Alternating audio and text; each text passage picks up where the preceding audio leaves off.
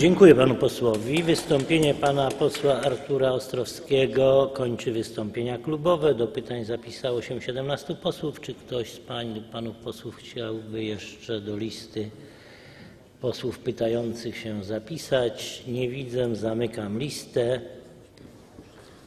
Jako pierwszy zadawał będzie pytania pan Szymon Giżyński. Czas na zadawanie pytań ustalam na półtorej minuty. Proszę bardzo, panie pośle.